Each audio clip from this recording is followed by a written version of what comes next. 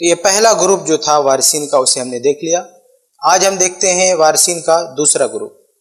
दूसरा ग्रुप कौन सा है? फुरू का, यानी मरने वाले के बच्चे। तो इनमें हम देखते हैं कि असहाबुल फरूज कौन होते हैं। ये फुरू। मुजक्कर में कौन कौन है? इब्न। और इब्नुल इब्न। और मोन्नस में बिन और बिनतुल इब्न। ये चार लोग हैं। हम चार ही को लिखते हैं, लेकिन इनमें यहाँ पे आप देखेंगे तो मुजक्कर के साथ चैन जितना भी नीचे जाएगा, सब वारिस होंगे। और इधर भी बिनतुल इब्न। बिनतुल इब्न से ऊपर मैयत तक का जो बीच में चैन है, वो मुजक्कर के साथ जितना भी बड़ा हो, वो सब बारिश होंगे। इसको समझ लें फिर से।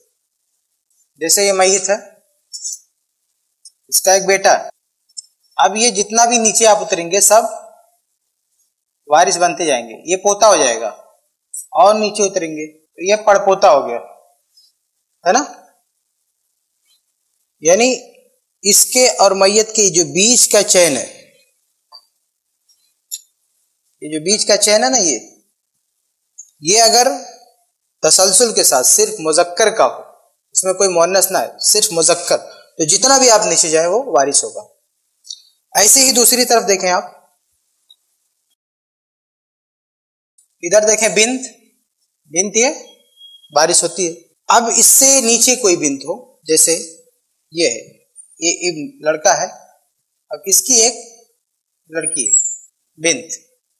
तो आप देखें, इस बिंत और मैयत के बीच में जो चैन है, वो सिर्फ़ मुजक्कर का इसलिए ये भी वारिस होगी ये इसके आगे नहीं, इसके आगे वारिस नहीं होगी। क्योंकि फिर इसकी जो औलाद होगी, इसके और इसके बीच में मोहनस आ जाएगी। लेकिन ये बिंत ये वारिस होगी, क्योंकि इसके और मैयत के बीच में जो चैन है सिर्फ़ मुजक्कर का। और नीचे भी आप उतर सकते हैं। इसकी कोई बिंत है? इसकी, यानी बेटा नहीं, पोते की बेटी है। तो ये भी वारिस बनेगी। ये इसके आगे इसकी औलाद नहीं, है? खत्म ही पे ये ये पोती है, ये पड़पोती है।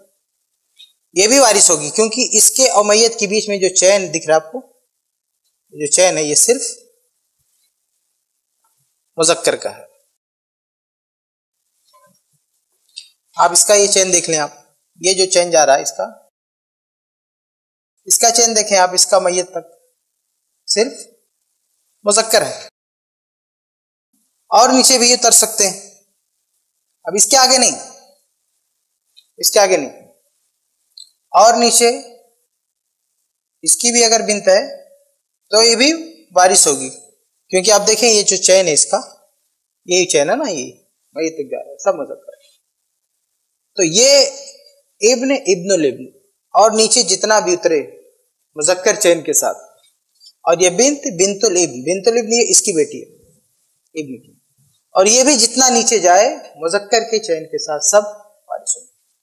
तो ये रिश्ते समझ लें, उसके बाद हम आगे शुरू करते हैं, इनके हिस्से देखते हैं। हा? कितना बनाएँगे बार बार इससे पहले भी ये समझा चुका हूँ। इससे पहले दूसरी क्लास में समझा चुका हूँ। ये तो ऐसे दोहरा रहा था। ये आज पढ़ना नहीं है, ये तो हो चुका। आज कुछ और ही पढ़ना है। अब देखना है इनके हिस्से। ये देखिए, इधर जो लोग हैं इन लोगों को कितना मिलेगा? कैसे मिलेगा? ये आप पढ़ चुके हैं। ये सब के सब असबा में आते हैं। यानी इनको बाकी मिलता है। इसमें किसी को तयशुदा हिस्सा नहीं मिलता है। तो फुरू के जो मुजक्कर हैं, वो सब के सब असबा है। और उनको हम पढ़ चुके हैं। इनको देखना है। ये लोग हैं जो खातन हैं। यानी ये फुरू की जो खातन है, ये असहाबुल फरूज में आती हैं। यानी इन लोगों का हिस्सा अल्लाह रब्बुल आलमीन ने तय करके रखा है। लेकिन इनकी एक शक्ल और भी होती है, एक सूरत और भी होती है कि ये इनके साथ असबा भी बनती है। तो ये असहाबुल फरूज में तो हैं, लेकिन कभी कभी ये असबा के साथ होती हैं, असबा होती हैं, बाकी हैं। जब ये असबा हो तो इनको कैसे कितना मिलेगा वो भी हम देख चुके हैं। आज का देखना, आज ये देखना है कि ये जब असहाबुल फरूज हो तो फिर इनको कितना तो सबसे पहले हम देखेंगे बिंत को।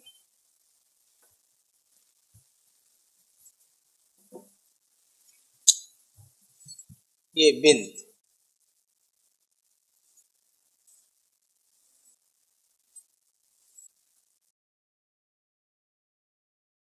बिंत यानी बेटी। बेटी की कुल हालतें कितनी हैं? अभी मैंने आपके सामने अर्ज़ किया कि बेटी की एक शक्ल ये होती है कि वो असबा होती है। और बाकी जो इसकी शक्लें हैं, इसकी जो सूरतें हैं, उनमें ये तयशुदा हिस्सा पाती है। कुल मिलाकर इसकी तीन हालतें होती हैं।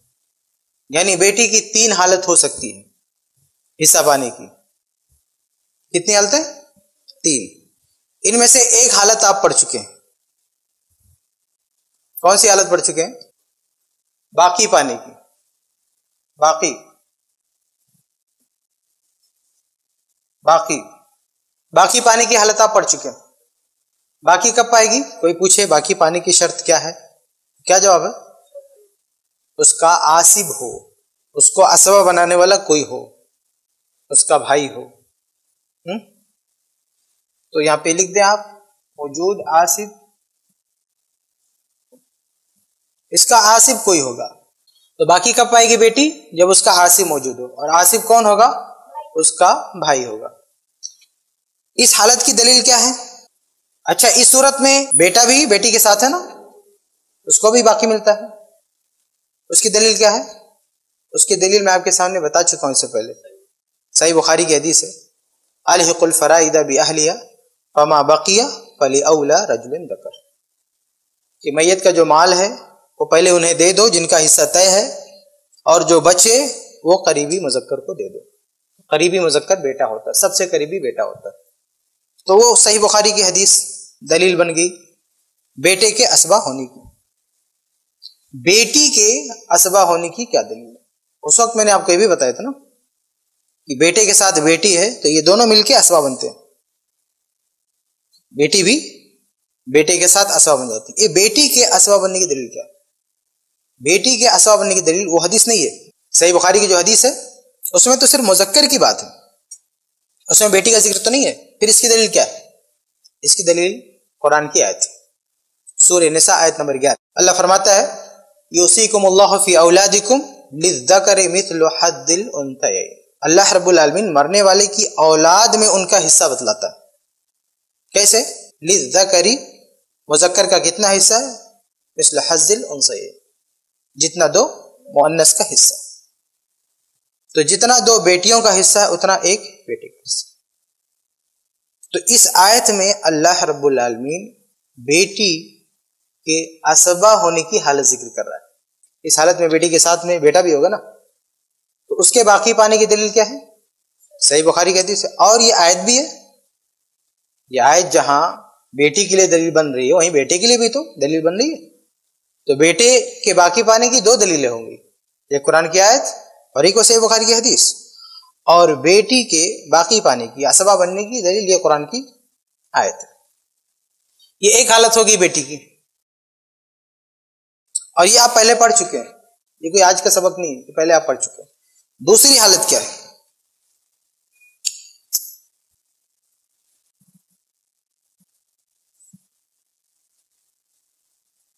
दूसरी हालत है दो बटा तीन। अगर ये बाकी नहीं पाएगी तो अगर ये बेटी बाकी नहीं पाएगी तो तयशुदा हिस्सा पाएगी। तयशुदा हिस्सा कितना पाएगी? तो उसकी दो शक्लें हैं। एक क्या है? दो बटा तीन पाएगी। दो बटा तीन पाएगी। अब उसकी कंडीशन क्या है? उसकी शर्त क्या है? एक तो ये कि ये ऊपर वाली सूरत ना हो। यानी उसका कोई आसिब मौजूद ना हो। यानी सिर्फ़ बेटियाँ हों। मैंने जो ऊपर लिखा है, जैसे हम नीचे उतरेंगे ना तो ऊपर वाली हालत नहीं होनी चाहिए। अगर हम इस दूसरी सूरत में आए तो इसका मतलब ये कंडीशन नहीं होनी चाहिए। ये सूरत नहीं होनी चाहिए। तो जब हम बात करें दो बटे तीन की तो पहले से आप ये जहन में रख लें कि ये शक्ल नहीं होगी। तो दो बटे तीन पानी की शर्त क्या है? यहाँ देखिए हम वो लिख रहे हैं कि कितना हिस्सा मिलेगा, और यहाँ लिख रहे हैं शरायत तो दो बटे तीन बेटी को मिलेगा। दो बटे तीन बेटी को मिलेगा। कब मिलेगा? हम्म? ये ऊपर का, ये शक्ल ना हो। और और क्या? तअद्दुद। एक से ज़्यादा हो। तो इसके बेटी के दो बटे तीन पाने की शर्त क्या है? एक तो ये पहली हालत ना हो, और दूसरा, बेटियाँ एक से जायद हो।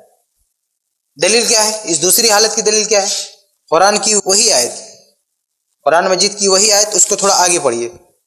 अल्लाह फरमाता यूसीकुमुल्लाहु फ़ी औलादिकुम लिज़करि मिस्लु हद्दिल उनसैन। आगे फ इन कुन्न निसाअन फौqa स्नतैन फलहुन्ना सुलुसा मा तरक।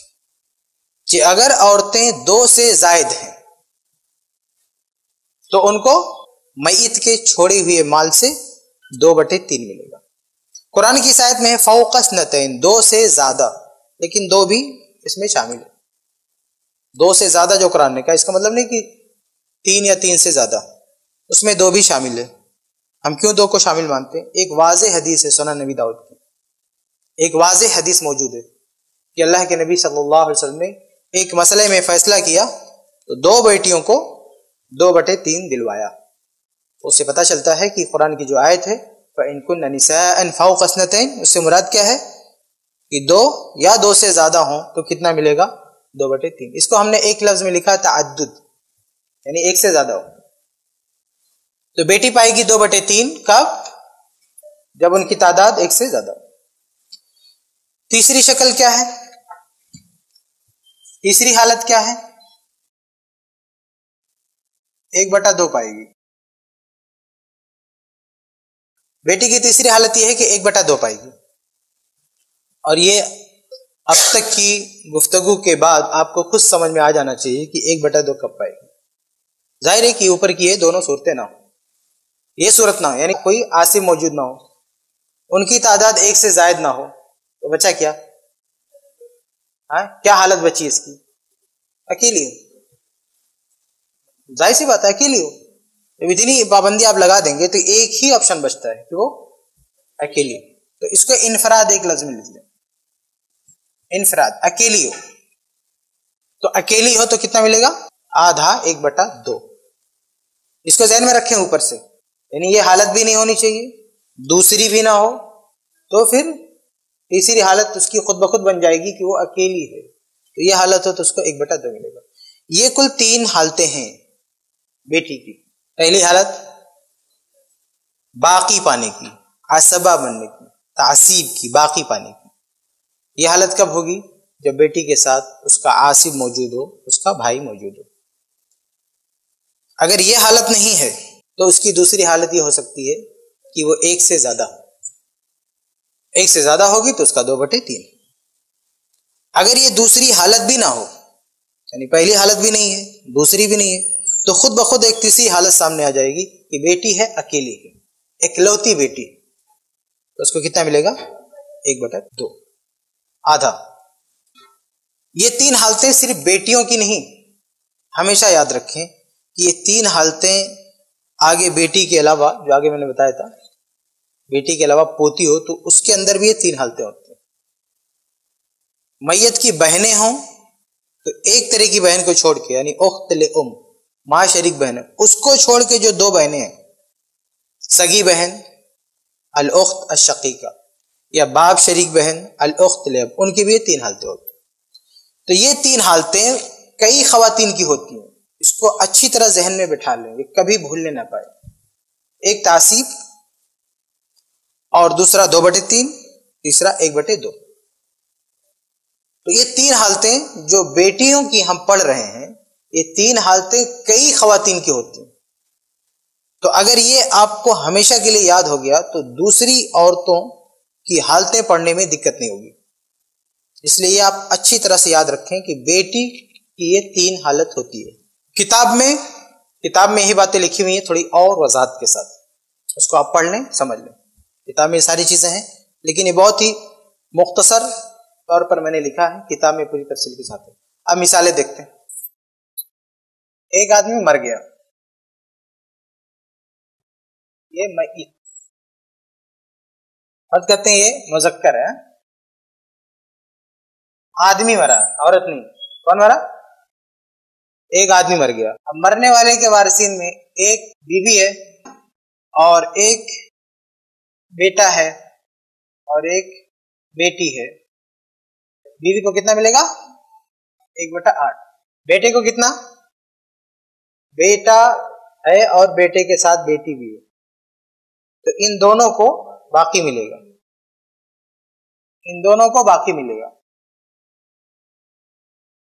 यानी कुल माल का आठ हिस्सा करेंगे, एक हिस्सा बीवी को दे देंगे, बाकी बचेगा जो सात, उसका तीन हिस्सा करेंगे। दो बेटे को और एक बेटे को। ये पहली हालत है। बाकी पाने की पहली हालत। आदमी मर गया, उसकी बीवी है और दो बेटियाँ हैं। दो बेटियाँ हैं। बेटा कोई भी नहीं है।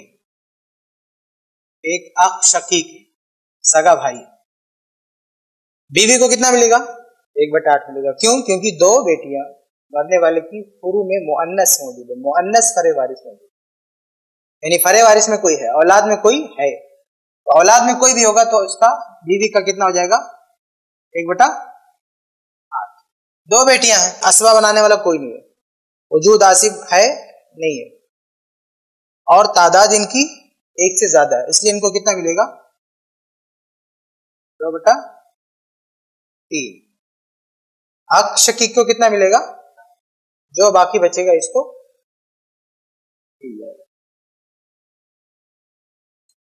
किसी को और दूसरे अंदाज से देखें आप। मरने वाला मुजक्कर नहीं है मोहनस है। मोहनस मरने वाली औरत भी तो हो सकती है। अब इसका शौहर है और बेटी और भाई है, अक्षकी के। मरने वाली औरत है। शौहर को कितना मिलेगा? एक बटा चार। क्यों? क्योंकि औलाद मौजूद है, बेटी। औलाद ना होती तो कितना? एक बटा दो। एक बटा चार मिलेगा। क्योंकि औलाद मौजूद है। बेटी को कितना मिलेगा?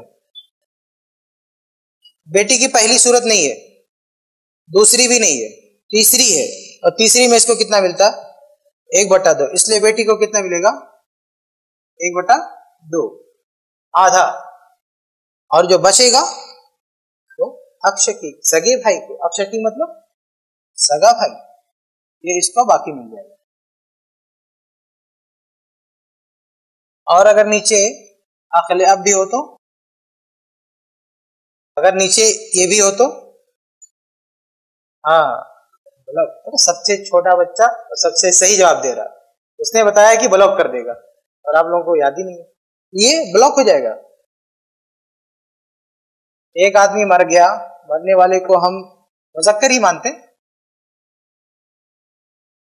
इत मुजक्कर है। अब इसकी है बीवी फौजा। एक है बेटी और एक है अख ले उम और एक है अख ले अब। बीवी है, बेटी है, माँ शरीक भाई है, बाप शरीक भाई है। बीवी को कितना मिलेगा? एक बटे आठ मिलेगा क्योंकि औलाद मौजूद है है ना? बेटी को कितना मिलेगा? एक बटा दो मिलेगा। कोई आसिफ नहीं है, एक से ज़्यादा भी नहीं है। अकेली है तो एक बटा दो मिलेगा। आखले उनको कितना मिलेगा? ब्लॉक देखो, इसको याद है बच्चे को? देखो, बच्चे को आगे याद है कि नहीं, ठीक है? ब्लॉक कौन ब्लॉक करेगा इसको? बिंत ब्लॉक करेगी। क्योंकि हज हज ब्लॉकिंग रूल में आपको बताया गया है, छह रूल आपको बताया गया हज के ब्लॉकिंग के छह रूल छह में दूसरे नंबर का रूल क्या है? कि बेटी, यानी फुरू की मुअन्नस, या ब्लॉक कर देगी हवाशी में से एक वाले उनको और क्यों? कलाले के उसूल से आपको बताया गया अखले आपको क्या मिलेगा? उसको बाकी मिलेगा।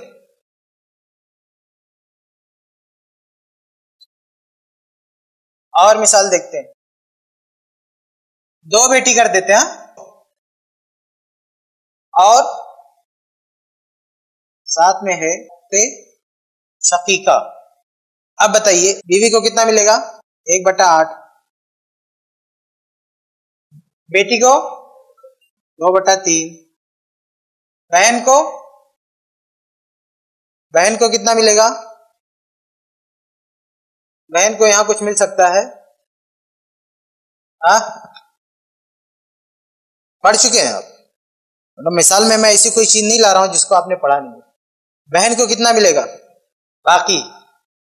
बहन बाकी पाएगी। सही जवाब है, बहन कितना पाएगी? बाकी। लेकिन क्यों? हाँ। ये बहन जो है, बेटियों के साथ असबा माल गैर बन जाती है। असबा में, असबा की बहस में आपको बताया गया था कि बहने, मरने वाले की बहने, दो तरह असबा बनती है। एक असबा बिल गैर, यानी बहन अपने भाई के साथ हो तो असबा बिल गैर। और बहन के साथ भाई नहीं है, बहन के साथ मरने वाले की मुअन्नस औलाद है। बेटी पोती कोई भी है तो उनके साथ अगर बहनें आती हैं तो बहनें बचा हुआ ले लेती हैं। तो यहाँ पे देखिए मोहनस के साथ ये बहन है, इसलिए इसको मिलेगा बाकी। हम सिर्फ़ बिन थोड़ी पढ़ेंगे, इससे पहले जो कुछ पढ़ा है, उसको भी लेके चलेंगे ना। और मिसाल देखते हैं दूसरी। आदमी मर गया। तीन बेटियाँ हैं, बिन।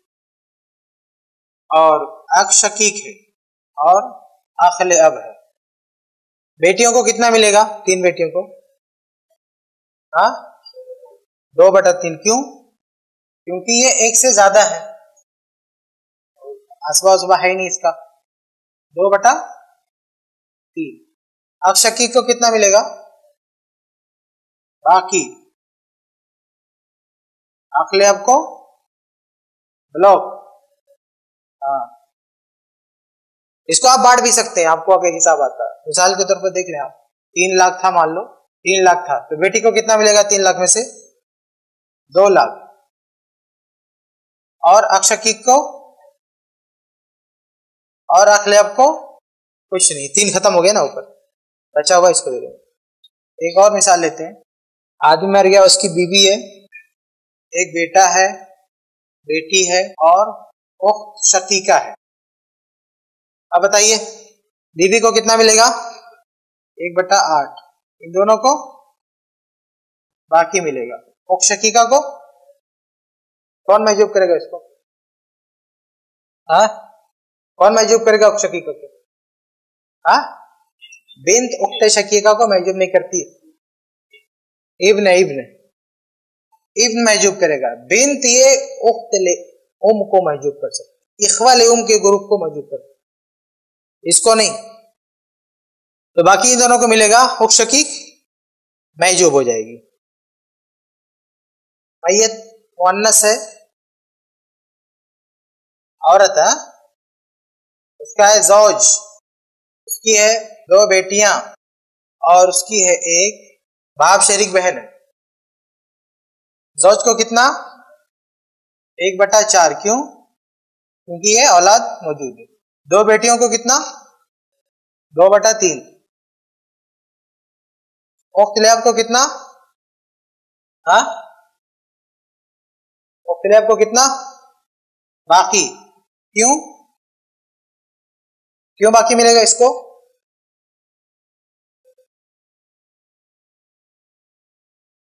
क्यों कौन सी शक्ल है बाकी पाने की इसके? ये इसके साथ असबा माल गए।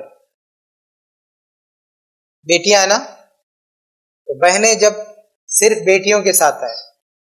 बेटियाँ, बेटा भी आ गया तब तो ये ब्लॉक हो जाएगी। बेटा नहीं, सिर्फ़ बेटियों के साथ हो बहने। कौन सी बहन? उख्त शकीका या उख्त ये दोनों अगर बेटियों के साथ आ गई तो बाकी पा जाएगी। दो तरह की बहन सिर्फ़, जहन में रखे उख्त शकीका और उख्त सगी बहन और बाप शरीक बहन। माँ शरीक बहन नहीं, माँ शरीक बहन अगर बेटी के साथ आई तो ब्लॉक बेटी उसको ब्लॉक कर देगी। और ये उख्त या उख्त शकीका, ये अगर बेटी के साथ आई तो इनके साथ आने की वजह से इनको बाकी मिल जाएगा।